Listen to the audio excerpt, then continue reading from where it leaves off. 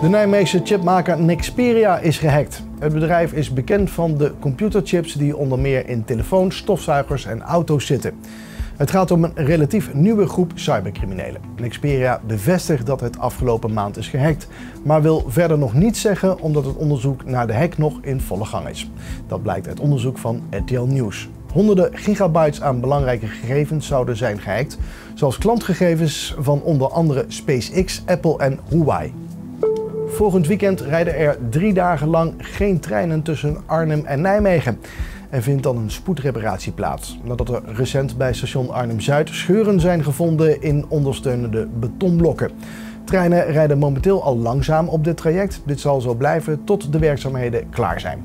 Van vrijdag 19 tot en met zondag 21 april rijden er geen treinen tussen beide steden. Op de zondagochtend is er tijdelijk zelfs helemaal geen treinverkeer mogelijk van en naar Nijmegen. Er worden bussen ingezet, hoewel de NS meldt dat de inzet beperkt zal zijn. Twee mannen die werden verdacht van betrokkenheid bij een vechtpartij op de campus van de Radboud Universiteit in Nijmegen zijn deze donderdag vrijgesproken.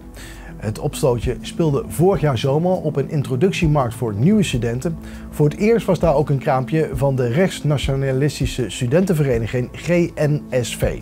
Na een woordenwisseling werden drie studenten van GNSV verbond. De officier van justitie eiste werkstraffen en een boete tegen de twee verdachten. Maar de rechter gaf aan dat er te weinig bewijs is tegen de verdachten en sprak ze daarom vrij. Het Openbaar Ministerie heeft twee weken de tijd om in hoger beroep te gaan.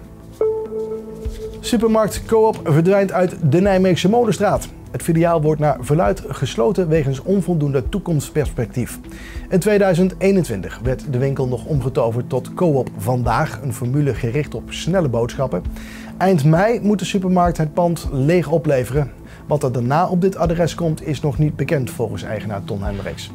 Het is wel uitgesloten dat de supermarkt Plus de zaak overneemt, zoals dit momenteel met veel Coop filialen gebeurt.